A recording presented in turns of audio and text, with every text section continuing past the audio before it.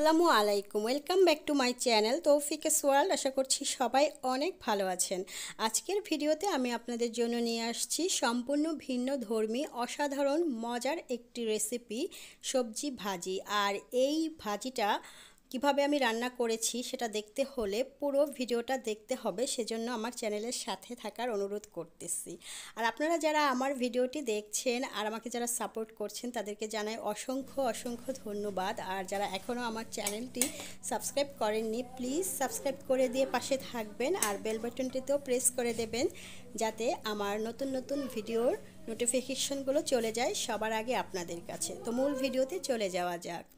তো এখন শীতকাল, এখন বাজারে প্রচুর শীতের সবজি পাওয়া যায়। তো সেই সবজি বাসায়ও আমাদের কম বেশি সবার বাসায় থাকে।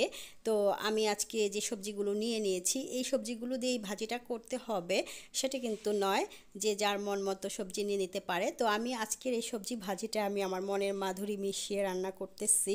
তো আশা করছি আপনারা আমার এই ভিডিওটি দেখবেন এবং আপনাদের ভালো লাগবে আজকের এই ভিডিওটি। তো আমি সবগুলো সবজি ধুয়ে নিচ্ছি ভালো করে। আর আমি আগেও একবার এগুলো ধুয়ে নিয়ে আসছি, আবারও ধুয়ে নিলাম। তো এখন এই সবজিগুলোকে আমি কেটে নেব। আপনারা দেখতেই পাচ্ছেন আমি পেঁয়াজের কলিটা নিয়ে নিয়েছি। তো পেঁয়াজের কলিটা এখন আমি আগে কেটে নেব। যদি পেঁয়াজের কলি না থাকে তাহলে পেঁয়াজ পাতা দিলেও হবে। পেঁয়াজের কলি আর পেঁয়াজ পাতা কিন্তু দুটো দুই রকম। তো পেঁয়াজের পাতাটা দিয়ে রান্না করলেও কিন্তু খুব ভালো লাগে।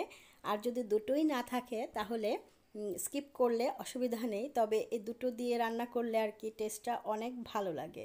তো এবার আলুটা কেটে নিচ্ছি। আজকের ভিডিওতে কিন্তু আমি সবজির পরিমাণটা বলিনি, কারণ এক একজনের পরিবারে ফ্যামিলি মেম্বার্স এক এক রকম থাকে, তো সেই অনুযায়ী সবজিটা নিয়ে নিলেই কিন্তু ভালো হয়।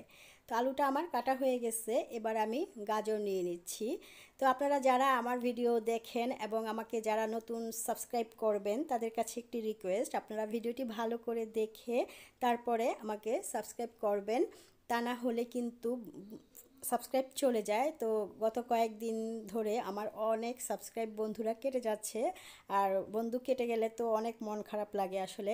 একটা ভিডিও বানাতে অনেক কষ্ট। যারা ইউটিউবে আছে ইউটিউবিং করছেন, তারা তো জানেনি কতটা কষ্ট। আর যদিও আমি শখের বসেই আমি এই চ্যানেলটাতে ভিডিওগুলো দেই, তারপরেও যদি আমার চ্যানেলটি কেউ দেখে ভিউ করে সাবস্ক্রাইব করে, তাতে, তাহলে কিন্তু অনেক ভালো লাগে আর কি। তো যাই হোক, আমি কথা বলতে বলতে সবজিগুলো কিন্তু কেটে ফেলতেছি। আমি এবার টমেটো নিয়ে নিয়েছি। তো টমেটোটাও আমি কেটে একটা সাইডে রেখে দিচ্ছি। তো এবার একটি পেঁয়াজ নিয়ে নিয়েছি। আজকে আমি ইন্ডিয়ান পেঁয়াজ নিয়েছি। একটি বড় আকারের ইন্ডিয়ান পেঁয়াজের অর্ধেকটা নিয়েছি। কারণ পেঁয়াজের কুলিটা ইউজ করতেছি, এজন্য পেঁয়াজের পরিমাণটা আমি একটু কম দেব। আর পেঁয়াজের পাতা, পেঁয়াজের কলি এগুলো দিলে পরে পেঁয়াজটা কম দিলেও কিন্তু রান্নার টেস্টে কোনো সমস্যা হয় না। তো আমি কাঁচামরিচটাও কিন্তু কেটে নিয়েছি জাস্ট মাঝখানে একটি করে কাটা দিয়েছি যাতে ঝালটা বেশি না হয়। আর এরই মধ্যে আমি ধনিয়া পাতাও কুচি করে নিয়েছি। এ পর্যায়ে আমি একটি ডিম দিয়ে দিচ্ছি। আর দুই চা চামচ গোলমরিচের গুঁড়া দিয়ে ভালো করে ফেটে আমি আবারও আরেকটি ডিম দিয়ে দিচ্ছি। তো আজকের এই ভাজিটার জন্য আমি দুটো ডিম নিয়েছি। আপনারা চাইলে একটি ডিম দিলেও, দিয়েও করতে পারেন। তো খুব ভালো করে আমি ফেটে সব কিছু সুন্দর মতো করে গুছিয়ে নিয়েছি। এবার রান্নার পালা। চুলায় আমি একটি কড়াই দিয়ে দিয়েছি। কড়াইটা একটু ছড়ানো আকারের তো এখানে আমি সরিষার তেল দিয়ে আজকে রান্না করতেছি। দুই টেবিল চামচ সরিষার তেল দিয়ে আমি পেঁয়াজের কুচিটা দিয়ে দিয়েছি। সাথে তেজপাতা আমি ছিঁড়ে দিয়েছি আর দুটো শুকনো মরিচ কেটে নিয়েছি। আর এই শুকনো মরিচটা কিন্তু তেমন ঝাল না। আমি দেখে এনেছি বাজার থেকে কম ঝালের মরিচ। তো সব কিছু একটু হালকা বাদামি করে ভেজে তারপরে আমি আলু আর গাজরটা অ্যাড করে আমি কিছুক্ষণের জন্য ঢেকে রাখব যাতে একটু সিদ্ধ হয়। আর এর মধ্যে আমি পরিমাণ মতো লবণ স্বাদ অনুযায়ী দিয়ে দিয়েছি। তো এখন আমি একটু ঢেকে রাখব একটু হাফ সিদ্ধ হওয়ার জন্য। তো যাই হোক, দু মিনিট পর আমি ঢাকনাটা তুলে আবারও একটু নেড়ে কাঁচা টমেটোটাও দিয়ে দিচ্ছি, কারণ কাঁচা টমেটোটাও কিন্তু একটু শক্ত। পাকা টমেটো থেকে কাঁচা টমেটো একটু শক্ত হয়, একটু সিদ্ধ হতে সময় লাগে। তো আবারও আমি এক মিনিটের জন্য ঢেকে ঢাকনা তুলে এখন আবারও একটু নেড়ে এখন আমি পেঁয়াজের কলিটা দিয়ে দিচ্ছি।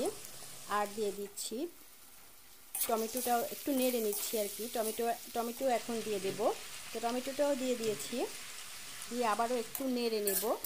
এখন আর ঢাকবো না। এখন আমি ঢাকনা খুলেই পুরো রান্নাটা করব। আর বেশি ঢেকে রাখলে সবজির কালারটা কিন্তু নষ্ট হয়ে যায়। তো আজকের এই সবজিটা কিন্তু খুবই হেলদি। এখানে আমি ডিম দিয়ে দিচ্ছি। আর ডিম থাকার কারণে এটা কিন্তু যারা ডায়েট করছেন তাদের জন্য কিন্তু খুবই উপকারী হবে। আর এই সবজিটা কিন্তু শুধু ভাত দিয়ে খেতে হবে, তাই নয়, রুটি দিয়েও কিন্তু ভালো লাগে। তো দেখতেই পেয়েছেন আমি মাঝখানে ডিমটা দিয়ে একটু ভালো করে নেড়ে মিশিয়ে নিচ্ছি সবগুলো উল্টিয়ে পাল্টিয়ে। আর যা বলছিলাম, এটা কিন্তু ভাতের সাথে না, রুটির সাথেও খাওয়া যাবে। অথবা যদি খালি খেতে চান, তা, তাতেও কোনো অসুবিধা নেই, তাতেও খাওয়া যাবে, তাও খাওয়া যাবে। যাই হোক, আমি কাঁচামরিচ অ্যাড করে দিয়েছি আর একদম শেষ পর্যায়ে চলে আসছি রান্নার। এখন আমি ধনিয়া পাতা দিয়ে ফেলেছি। তো রান্নাটা আমার শেষ হয়ে গেছে, আমি একটু সার্ভ করে নেব।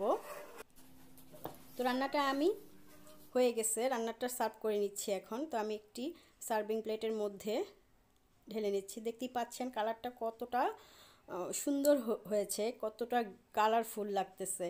তো এটা কিন্তু খেতেও কিন্তু অনেক টেস্ট আপনারা বাসায় একবার অবশ্যই ট্রাই করবেন।